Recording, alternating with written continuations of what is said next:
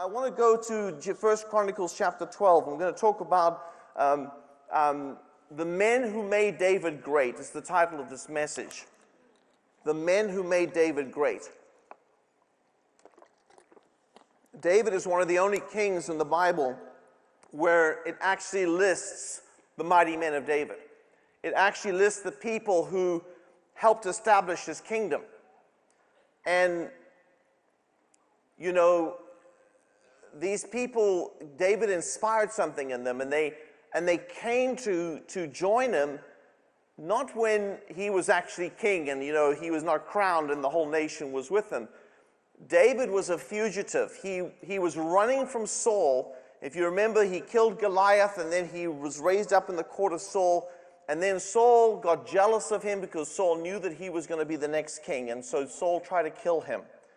David ran for his life. He was in the caves. He was running, hiding, you know, just trying to survive. Saul was chasing him with thousands of warriors in, in, in, you know, to try and kill him in the forest, and the caves, for a number of years.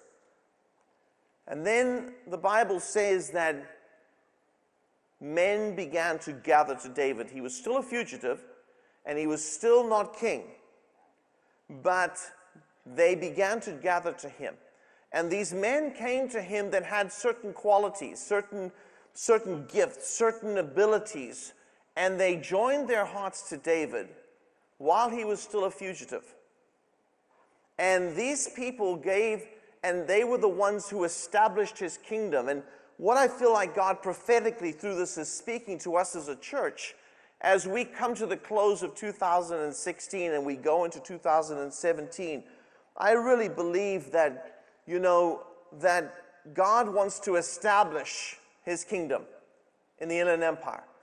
He wants to establish his kingdom in our lives, and I really believe that we, as a people and as the people of God, are joining our hearts to the Son of David, who is Jesus. We're also joining our hearts to this church and to what God is doing in this church, and we're here to establish the kingdom of Jesus Christ.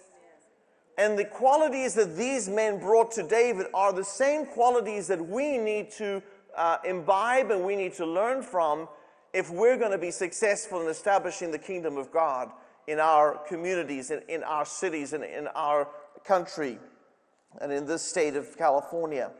And so this, this has got this has had so much truth. This First Chronicles 12, we can only look at a handful of, cha- of verses but we're going to just delve into a handful of them and let's pray God speaks to us prophetically concerning our lives here today. Amen? So we'll pick it up in, in, in, in verse number one. It says these, these words It says, Now these were the men who came to David at Ziklag while he was still a fugitive from Saul, the son of Kish. And they were among the mighty men, helpers in the war. How many of you figure we're in a war? This is a daily war. We're in a battle, we're in a war every single day. Armed with bows, using both the right hand and the left in hurling stones and shooting arrows with the bow. They were of Benjamin, Saul's brethren. We're going to come back to that in a moment, but they came from the tribe that was in power. Remember, Saul was Benjamin. That was the tribe that controlled the country. They left that and they joined David.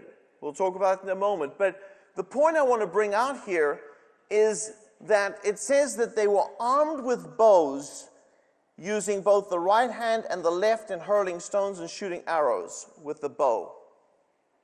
Now, how many of you are right handed in this building? Is there anybody here who's left handed? It's always a handful. All right, and it's an amazing thing that when we're born, most of us are born with a, with a natural side of us that is stronger than the other. So that when we come to pick up something to throw it, we will naturally gravitate to the side that is stronger. Or we will kick a soccer ball, or we'll kick a football, or whatever it is. We will normally, you know, use the right hand or the left hand in, in doing a task, depending on which side is stronger. But the Bible says that these men could hurl stones and, and throw arrows they could shoot arrows with the right hand and the left hand equally well. Which is the principle behind what these men had done was that they had taken the weak side of, of their ability to, to, uh, to do a skill and they had strengthened it to become exactly the same as the other. And this is the principle. All of us have strengths and all of us have weaknesses. And we, if we want to really establish God's kingdom, we cannot just gravitate in our lives to what we're naturally good at and what we naturally will normally do. All right, I myself, as I go to 2017, I'm looking at the areas of my weakness. I'm looking at the things that I'm not good at, the things that I really struggle in. Uh, number one, I, I'm, I'm very strong in the Word of God. I'm very strong in prayer, but I'm not strong in worship. It's just an area. I can't sing. I don't have a good voice. I can't play a single instrument. I don't have that natural tendency. It is not my right hand, it's my left hand. And so I want as I go into because I, I read the word, worship is such a vital part of the kingdom of God. But it's just not an area that I ever gravitate to, but I know that I have to strengthen it. I have to learn to worship. I have to learn to press in into that holy place. I've got to learn and I've got to put some emphasis into it and I've got to strengthen it so it becomes as strong as the other areas of my life. There's areas that, you know, Lisa and I have a tremendous work ethic and we'll, you know, work tirelessly, travel the world and but you know, the area of exercise and fitness in that area, it's a weakness. It's an area that we have to strengthen in 2017. All of us have strengths and we have weaknesses, and all of us have to strengthen what's weak. Are you with me, church? Amen? Because if we want to establish God's kingdom, we cannot have vulnerable points in our lives where the enemy can take us down. Many years ago, I heard of a, of a, of a mountain climber who um, was from the United Kingdom and, and he was a very uh, well known mountain climber. He had climbed Kilimanjaro and many other parts and many other major mountains in the world, but he had never climbed Mount Everest. That was the, that was the crown jewel. That was the, that was the mountain he always wanted to climb. And, and so, after many years, he said, You know, I'm going to put together an expedition and he gathered some of the best climbing friends that he had and he, he planned and mapped out an expedition to go to Nepal and to climb Mount Everest. Well, they, they, they trained, they prepared, he raised money from family and friends, and finally they went and they, and, they, and they went to try and climb the very first time. They only got about halfway up. Do you know that 25% just about of all the people that climb Mount Everest die? It's not an easy mountain to climb. They got, you know, about halfway up and they were forced to turn back and they realized that they just, they were not up to the task.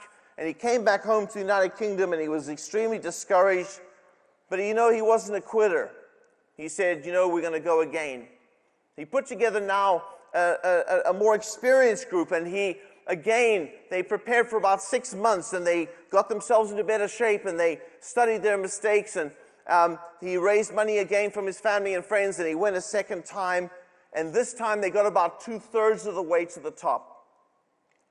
But bad weather came in, and all kinds of issues happened, and with the oxygen and whatever else it was, and they were forced back home. And he, again, was very discouraged, but he just made a decision in his heart. He says, I will not quit. And this time he put together a third expedition. They prepared for an entire year. He studied the mountain. He studied the weather patterns. He studied everything. He studied those that had made it, those who hadn't, what they did, what they hadn't done. He, you know, they changed their eating patterns. They got into incredible physical shape. And as he was about to go on his third expedition, he gathered his family and friends, the people that had been supporting his expeditions in a giant, you know, a banquet and he got up to thank them for supporting him, even though he hadn't made it to the top of Everest. And as he was speaking to this group, behind him was a giant photograph of Mount Everest. In the middle of his talk, he stopped and he turned around and he pointed at the mountain and he said these words. He said, Mount Everest, he said, I will conquer you. He said, Because you cannot get any bigger. but I can. And he went that time and they conquered the mountain and he got to the summit and he overcame it. Now, many of us in our lives, we've got mountains that we're facing. They, they seem insurmountable and they seem like there's no way we'll ever get to the top of them. We'll never conquer them. But you know what? You can grow bigger than your mountain. You can strengthen the areas of your life that are weaker. And you can get to a place where your faith, where your knowledge, where your training, where your understanding will conquer whatever mountain God has allowed to be in front of you. Amen? For many years, we were at uh, Cottonwood Christian Center with Pastor Bayless Conley, and you know, Pastor Bayless um, had a wonderful family there, uh, David Martha Johnson.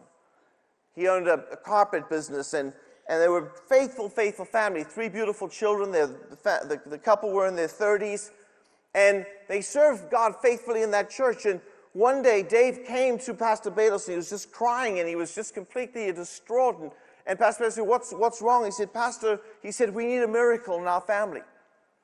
He said, we just came back from the doctors, and the doctor said that Martha has a year to live. There's no cure to the disease she has. There's no known way that she can get past this. Need, we need to get our house in order because in a year's time she will not be with us. He said, Pastor, we've been serving God faithfully. He said, I believe that the scripture says that we need to call the elders and you need to come and lay hands on her and God, God's going to heal her. We, we just believe that, that God, God's going to do a miracle. We need this. Pastor Bayless was about to go and pray with, to, for Martha when the Holy Spirit spoke to him and said, She's not ready for this miracle. And he stopped himself and he turned around and went to his bookshelf and he took out a book. And the book is called Christ Our Healer by a guy called Bosworth. And it just goes through the scriptures of all the places where God heals in the Bible. And he said, Dave, he said, I, I, I, what I want you to do first, before I come and pray, I want you and Martha just to go through and just, I need you to strengthen your faith in God's ability to heal her. I need you to put the Word of God into you. I need you to strengthen this area of your life. And he said, You know, please, will you take this book and just read it with Martha? Dave was not happy. He stormed out the back of the church. He was very, I mean, he was upset. And he, he basically, you know, didn't come back to the church for over a month.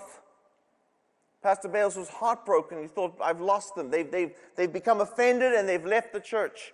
And he finally got enough courage to pick up the phone and he called Dave. He said, Dave, I didn't want to offend you. He said, I'll be happy to come and pray for Martha.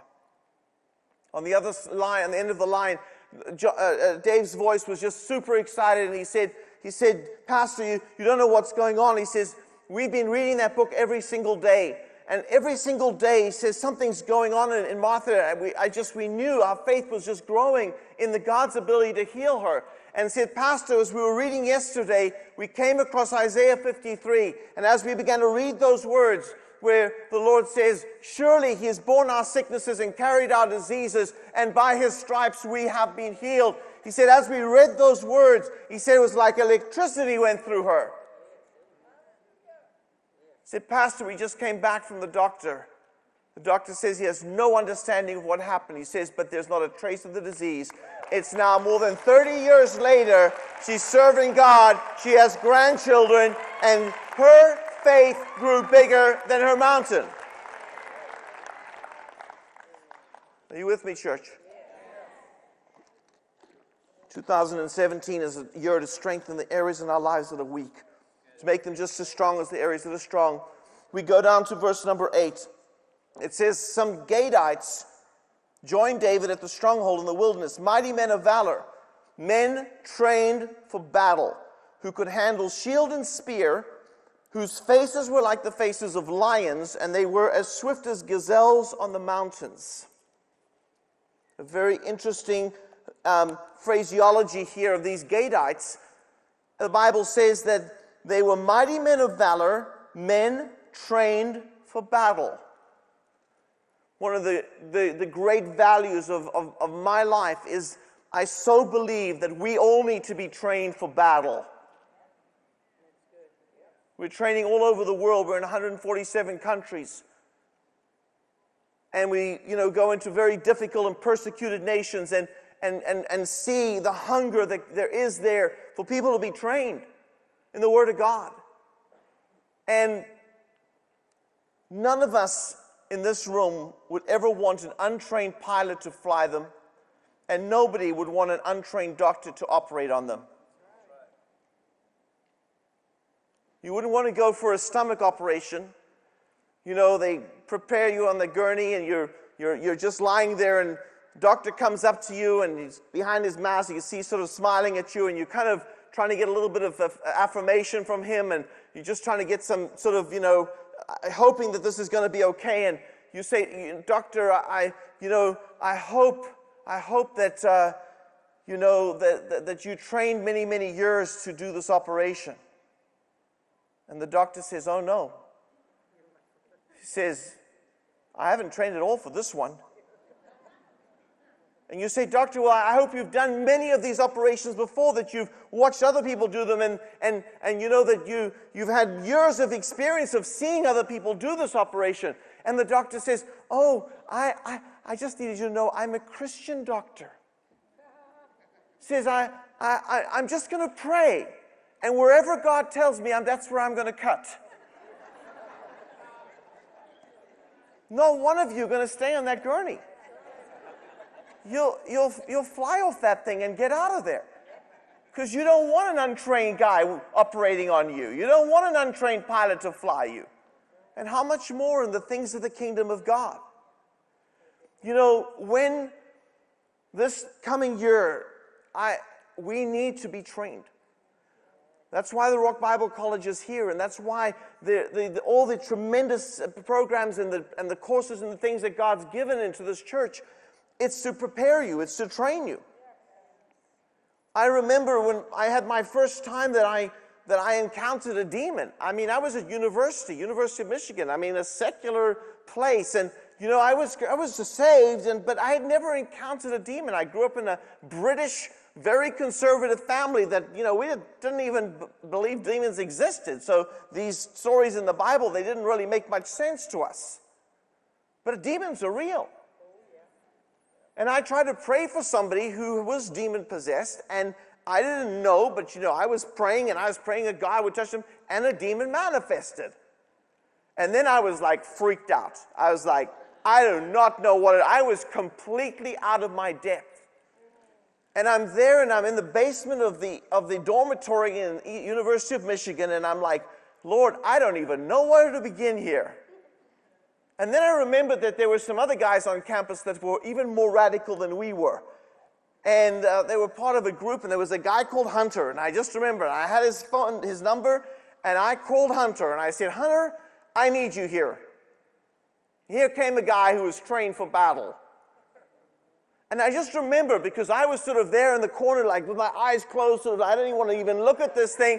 And this guy's writhing on the floor and all the rest of it. And this guy walks in the room and he walks right up to it. And when the Bible says their faces like faces of lions, when you're trained for battle, you're not scared of the enemy.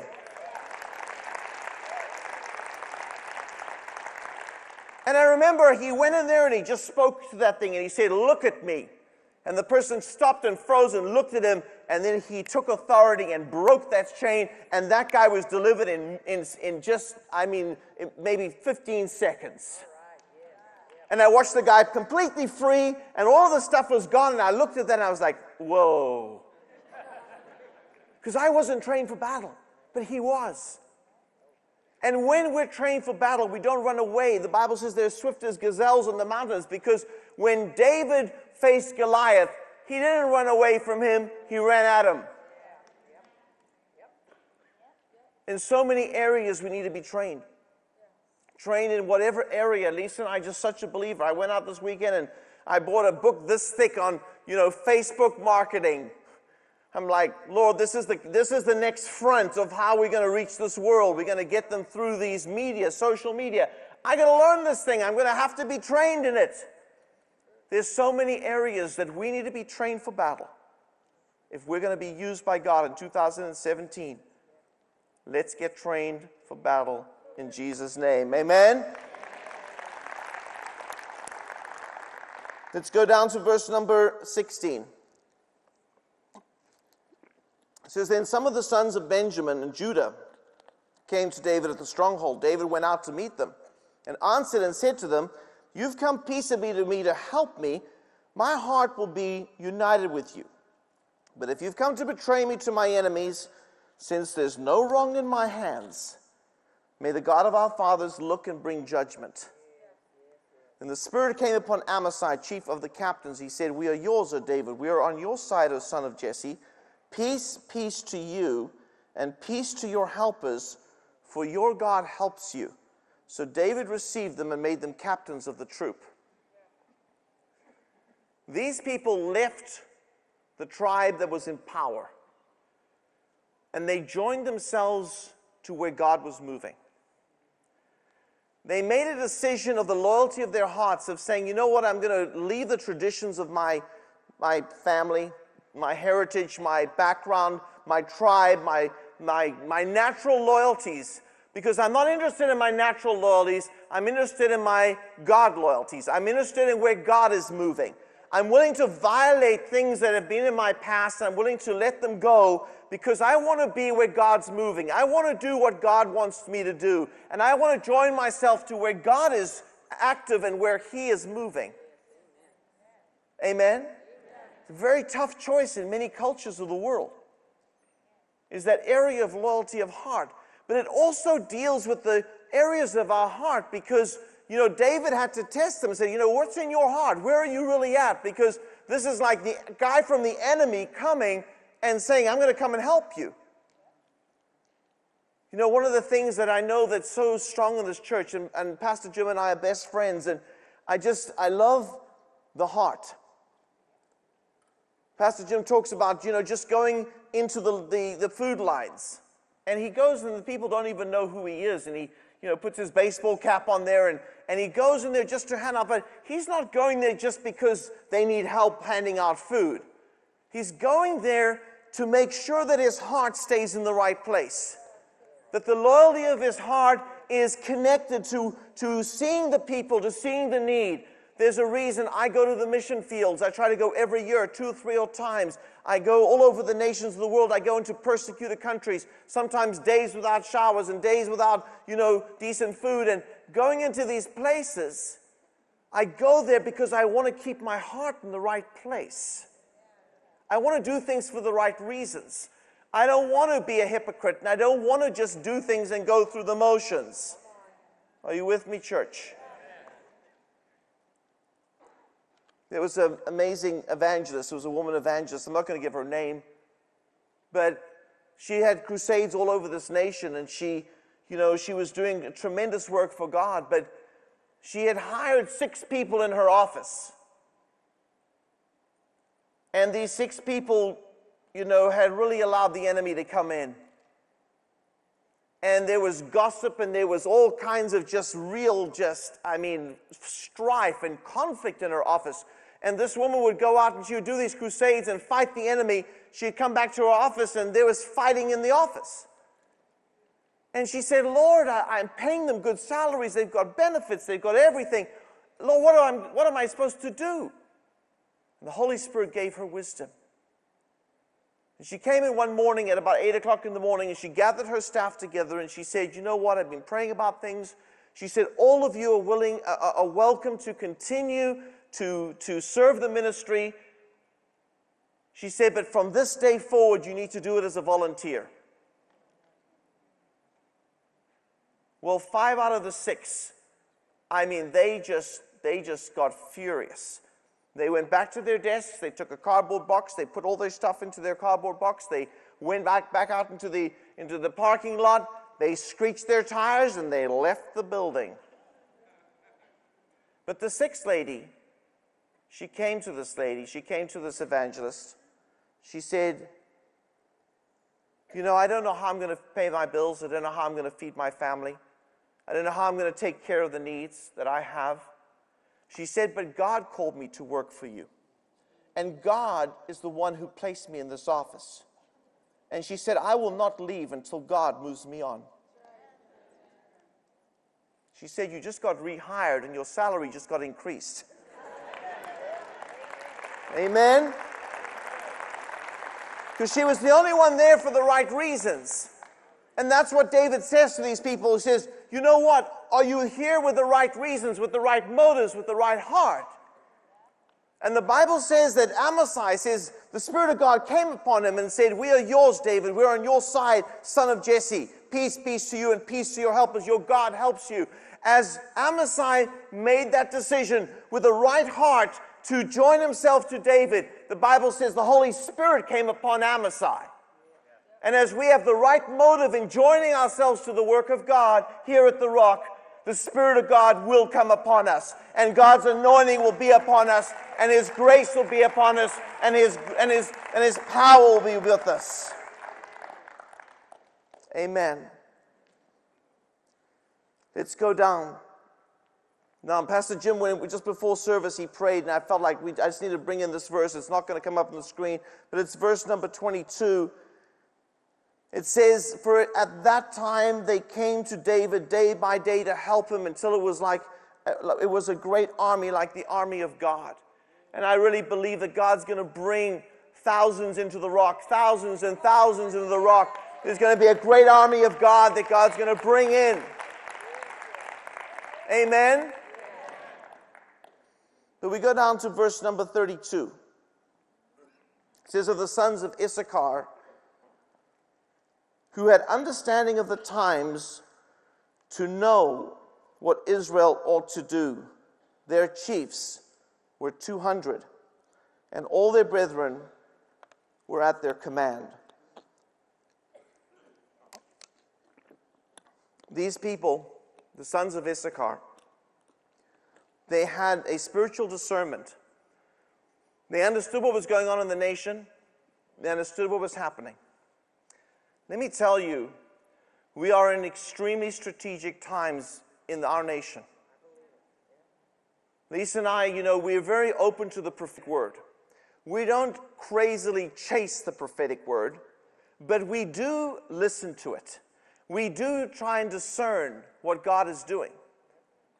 And if you do any type of research, you'll know that even concerning the election that we had, that God prophetically spoke many things into the global church and many things into the body of Christ. And if you, there was a, just recently Kim Clements, they had a two hour special. He passed away a few months ago. But they did a two hour special, and the prophetic words that God used that man to speak, just, I mean, specifically about things that are happening in the nation now. There was a fireman who's in 2011. God gave him prophetic insight. And these are not things that we, we try and plan our life around, but we do try and discern the season, discern what God is doing. And we are in a very opportune time, I believe, for the church that we need to take advantage of this next open doors that God gives us. We must not squander an opportunity that God's given us. We cannot just say, oh, well, no, we're just going to go on like business as usual. I'll tell you, God has opened a great and effectual door. He's given us a tremendous opportunity. He's given us incredible uh, potential of what He will do on our planet in these next years. And we as the church need to step into them. We need to be like the sons of Issachar. We need to understand the times and know what we ought to be doing. And this is not a time to be a spectator. This is a time to be a participator. This is a time that we need to get engaged, to be involved. We need to be a part of establishing a kingdom. We need to establish what God wants to do on this planet. We need to be a part of reaching a generation for Him. We need to be a part of reaching a planet for Him. Are you with me, church? We need to be like the sons of Issachar. You know, Joseph in Egypt, he knew what was happening. He discerned the dream of Pharaoh. He saw the seven years of plenty, the seven years of famine. And Joseph prepared the entire nation of Egypt to prepare to be ready for that. Joseph's brothers were in Canaan. They were from the same family, they came from the same lineage, they came from the same heritage, they had the same promises to Abraham, Isaac, and Jacob. They were children of Israel, but they saw nothing. So Joseph prepared for seven years. And Joseph saved the entire known world of his day. And when the famine hit, all the brothers could do was come and beg because they never discerned the time. They never saw what God was doing. They never understood what the season and the time was. Let's be like Joseph. Amen. Have one final point. Let's go down to finally to verse number 33. We'll pick it up in the second half of verse number 33. Of Zebulun, there were 50,000 who went out to battle, expert in war with all weapons of war, stout hearted men who could keep ranks. Remember that statement. In verse 35, of the Danites who could keep battle formation, 28,600. In verse number 36, of Asher, those who could go out to war, able to keep battle formation, 40,000. In verse 38, all these men of war who could keep ranks came to Hebron with a loyal heart to make David king over all Israel, and all the rest of Israel were of one mind to make David king. Four times in about six verses, God brings this concept that these men that established the kingdom of David had this one quality they could keep ranks, they could hold together. Probably one of my most favorite scenes in any movie is Braveheart. The little ragtag team of, of, of soldiers, these Scottish, you know, my roots are Scottish, and so I, you know, identify. I haven't painted my face, you know, blue yet, but, you know, it's coming. But this little ragtag team, and there's Braveheart in the front of this thing, and they they got some sticks there, and, and this massive army of the British comes, and they've, I mean, they've got all the, the horses with the cavalry, and they got their lances, and you know, and, the, and this, this entire army begins to storm them, and they and just comes at them with full gallop. This little ragtag team is there, facing this army. And all that Braveheart says four times, he just says the word hold. Hold. And this thing gets closer and closer, and of course, they, they dramatically build it in a fantastic way. And this, this, this cavalry gets even closer and jumps over these, these, these mounds and comes closer to them. And I mean, they full gallop. And he says, Hold, hold. And at the final moment, four times he says that word, at the final moment, he says, Now. And they lift up these sticks, and these horses run into them, and they win the battle. Had they not held rank, they would not have won. We as the church, you know, when you're in a military situation, you know, it doesn't really matter if you like the person on your right or you like them on your left, or whether the guy in front of you smells very good or the guy behind you looks very good. You know what? You only have one ear, and that ear is to a commanding officer who's giving commands. Amen? And you will only win in your ability to hold rank, in ability to march together. And when the commanding officer says go left, you can say, Well, I really think right is a much better uh, choice here, but you know what? They're going left, I'm going right. You will not survive. Amen. And sometimes we don't really know why we're going left or why we're going right. But God uses the authority that He places over our lives to help give us direction as to where we're supposed to go. And that, that commanding officer is the one who's in charge. We need to learn to hold ranks because in this 2017 and going forward, we have to actively work on unity. We've got to work on running, on, on running together. We've got to work on holding rank. We've got to work on marching together. Because we will win if we hold rank. Amen?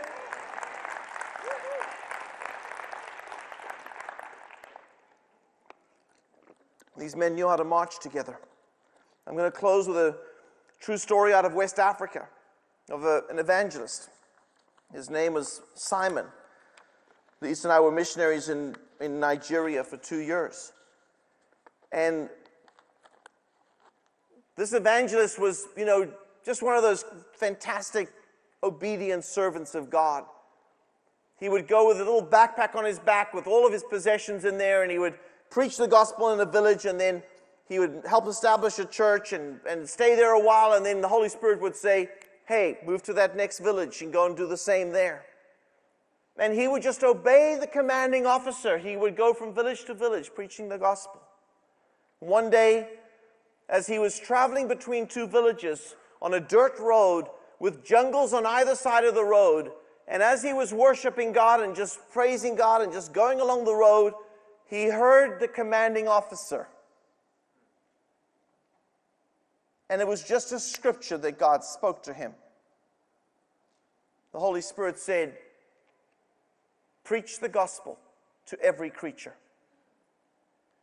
He stopped and he was so clear in his heart, he sensed that God was saying it, but he stopped and he turned around and looked for somebody to preach to. But there was nothing. There was nobody. There was no nobody around. And so he was confused. So he started, you know, walking a little bit further and he heard again, preach the gospel to every creature. And so as he was looking again, he suddenly heard a rustling in the leaves, and up above he saw a troop of monkeys. And they were swinging in the trees.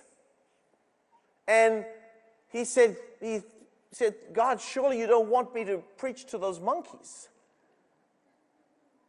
But you know, he didn't hear any further. He just had that one command. And so he thought this is a test. So he put his little backpack down and he took out his Bible and he opened up and he started in the book of Genesis. And he started with Adam and Eve.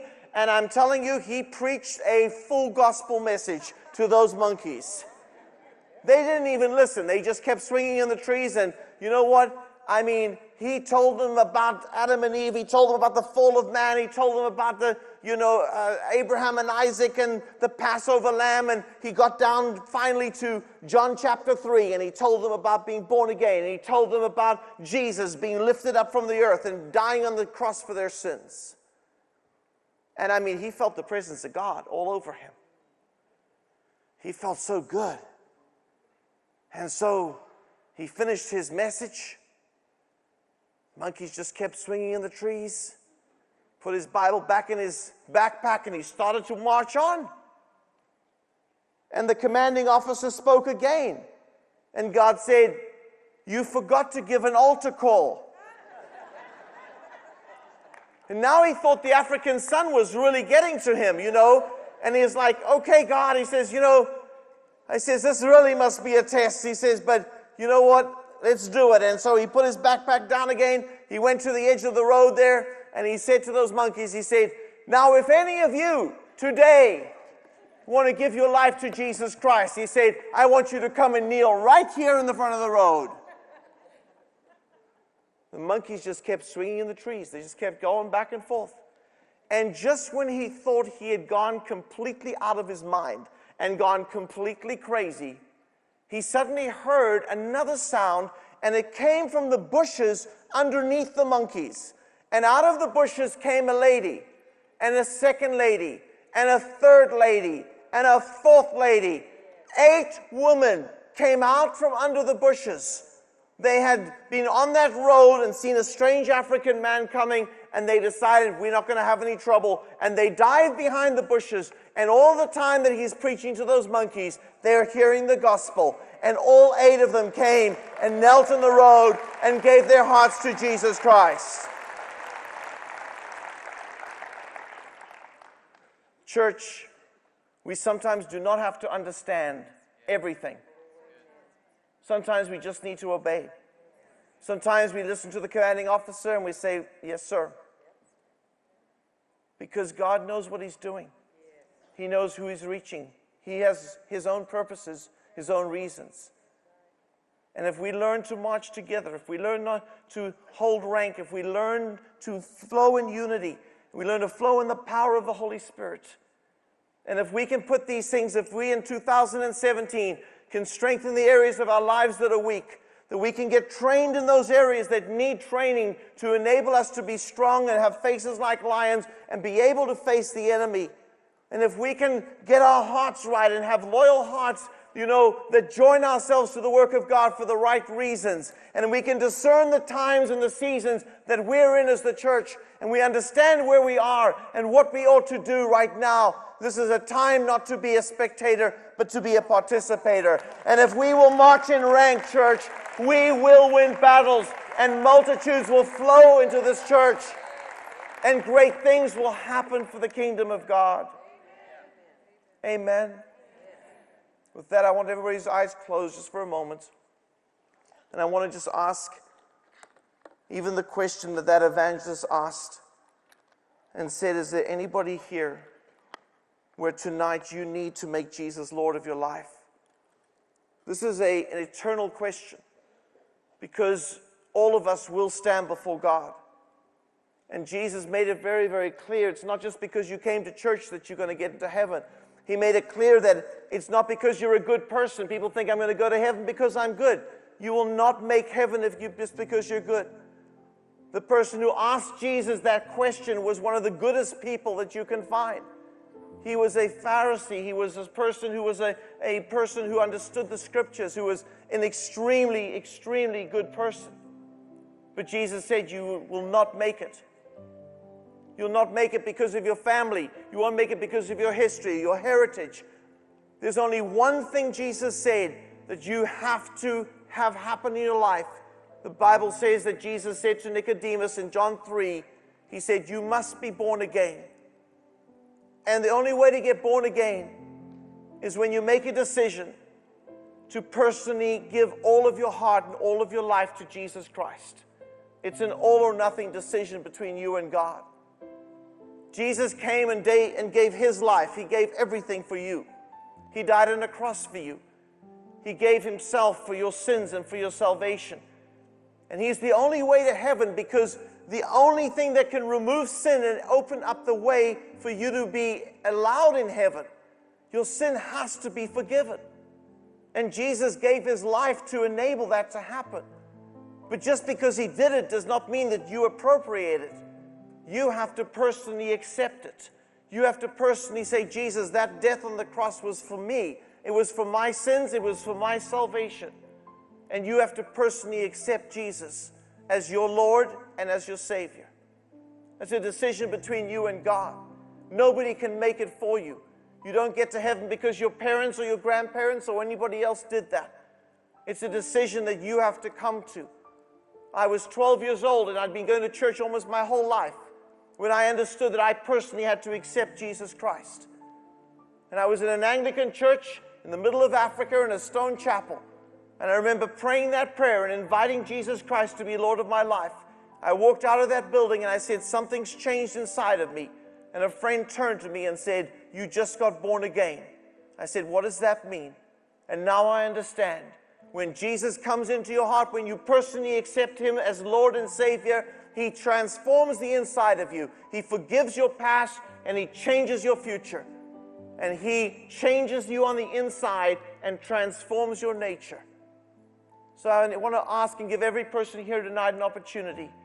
If you've been running from God instead of to Him, this is for you tonight to respond.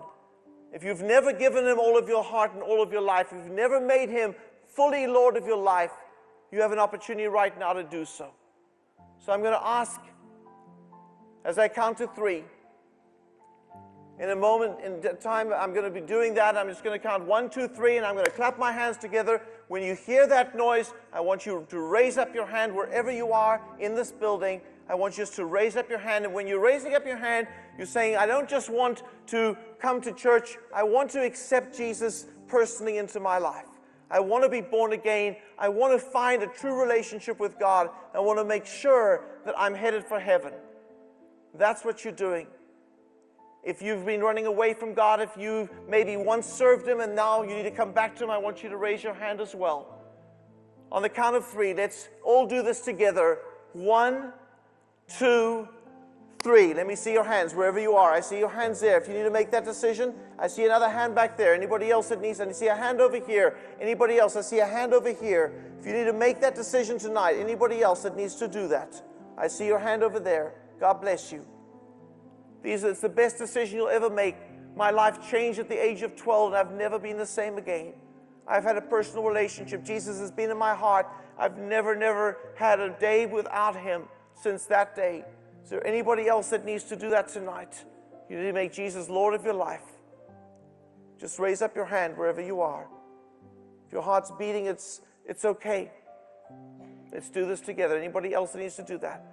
All right, I'd like us all just to stand in the presence of God. And those four people, I just I would like the honor and privilege of just praying with you.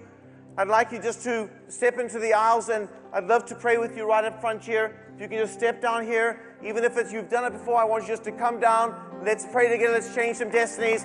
If you needed and you didn't raise your hand, but you need to do that, just step down right now. God bless you. God bless you.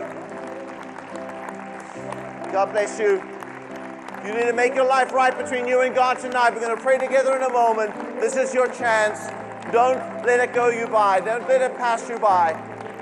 Let's make things right between you and God tonight. You're going to leave here tonight forgiven. Anybody else that needs to join them?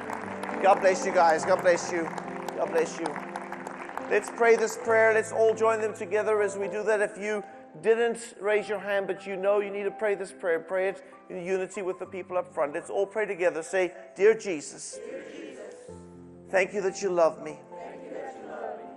I, believe that you're the Son of God, that, you came to this earth, you were born as a child, as a child and you grew up to be a man. You, went to a cross. You died a horrible death for my sins and for my salvation.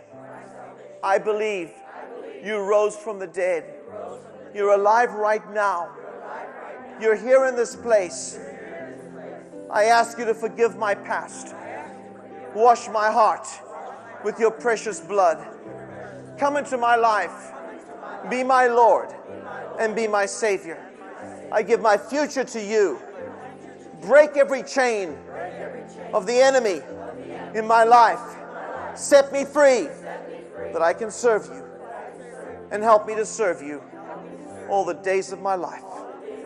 In Jesus' name, amen. Let's give the Lord a hand. Amen. God bless you guys. God bless you. Amen.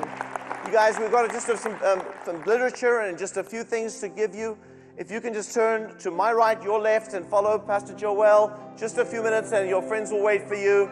And uh, let's give them a hand as they go.